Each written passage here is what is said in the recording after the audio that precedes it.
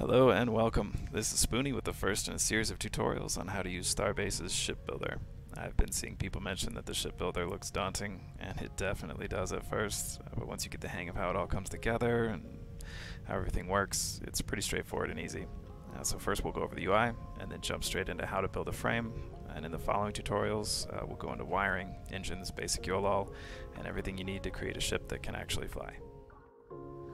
Alright, so first I'd like to go over a little bit about the uh, user interface or the UI.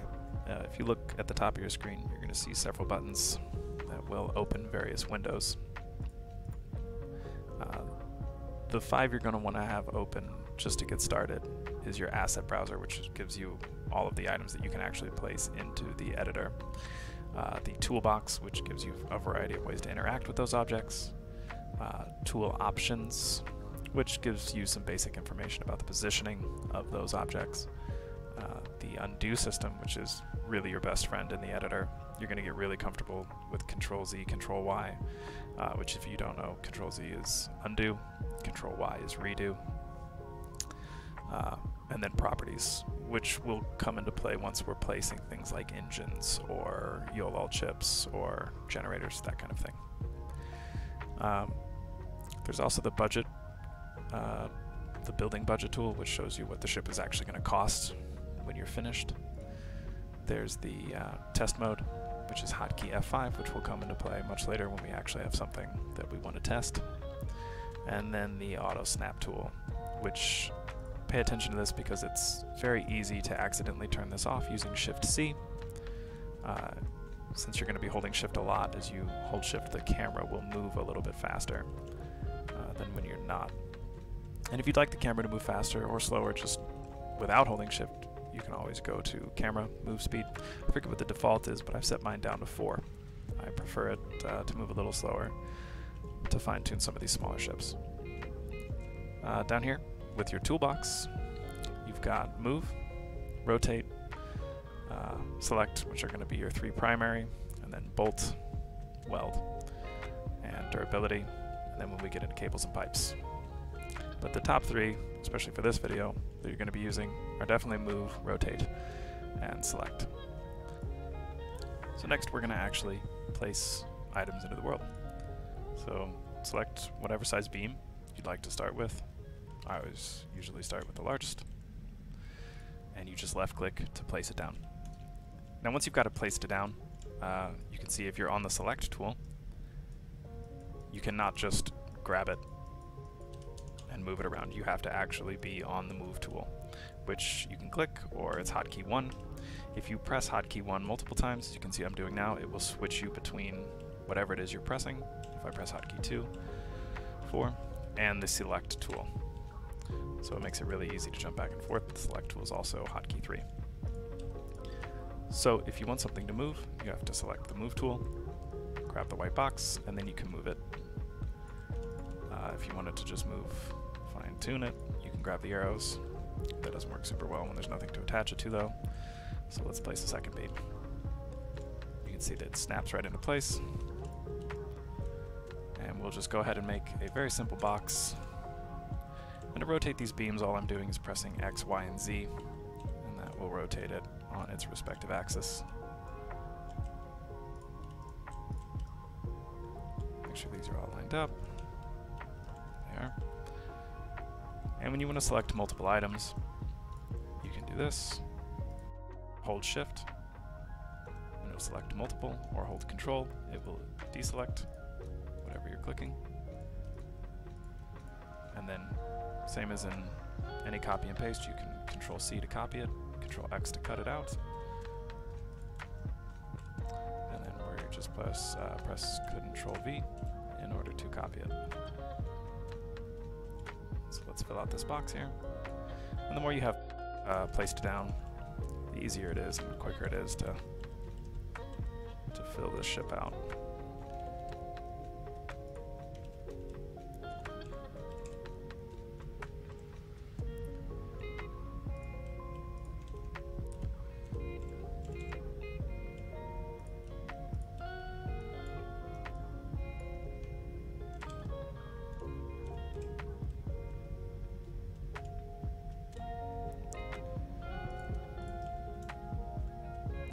Needs to be moved a little bit. And to reselect things once I've deselected them, I'm just pressing Control Z. It will literally undo anything that you've done. So if I'm clicking something, oh, I don't want to click that, Control Z, it will unselect it, deselect it. So now that we've got this basic frame, you're going to open up your weld tool, which is something, the first mistake I made when I first started playing around with the ship editor. I, I thought you bolted everything together, so I was literally trying to go around and bolt these beams together, which was a real pain. But it is not how you connect these beams. Uh, you just go to the weld tool, and you can weld them individually. You can weld these selected, or you can just click apply to all, which is what I usually do, and it will weld all beams that are connected to one another. So once they're welded together, you can check its durability, and you see that it says no ship frame it will say no ship frame until you've placed an engine on the frame. And then it will give you a ship warp followed by a number. You want it to be over 1. If it is under 1, 0.8 or whatever, it means that there's a durability issue. Uh, but the ship will show you these, like if there was a durability with this beam, it would show up as red. The box would also show up as red, so if it's inside something else, it's very easy to locate. Right. So now that you've got the hang of placing beams, welding them together, uh, we're going to start connecting things to them that we can actually use.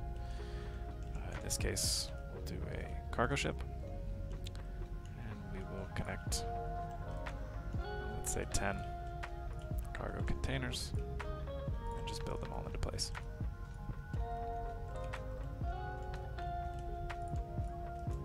And you can see once you get the hang of copying pasting things. It actually goes pretty quickly. You will have to play around with the lengths of these beams a little bit though, but once they're welded together, they act as one, so you don't have to worry about, oh, I used too many small ones, there's going to be durability issues. Uh, nothing like that. So that looks like it's the right length. So we will then copy this, place it on top as well.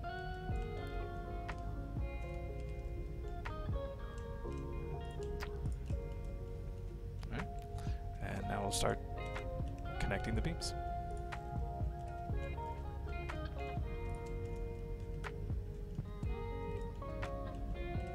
on each side. And then you know what? Let's make this actually twice the size. Let's make this 20 crates. So let's start with these supports here.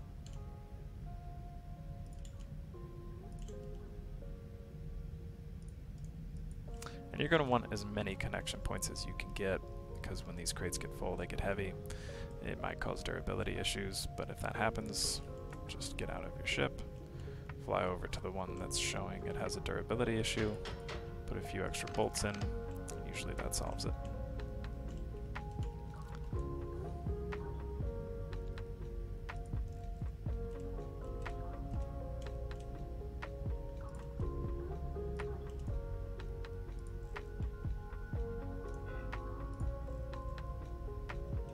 And there we go. And then we can just copy paste, oops. Paste these.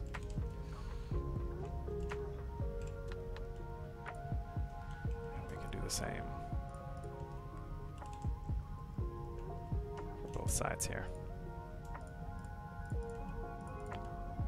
You can see this gets real quick once you've got the whole frame together. You can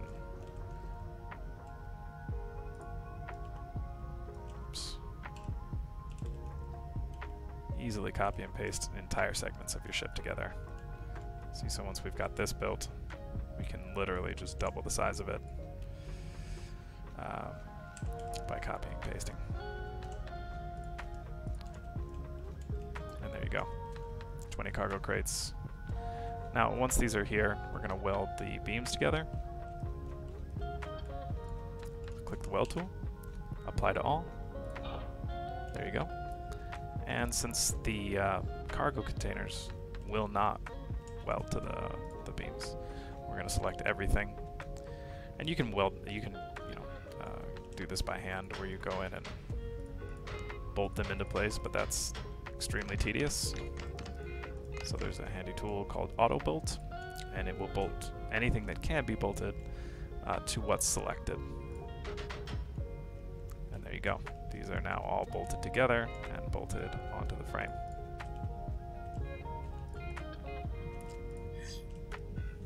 As you can see, we're still showing yellow durability and no ship frame, and that will continue to happen until we put an engine somewhere on this ship, which we will do next.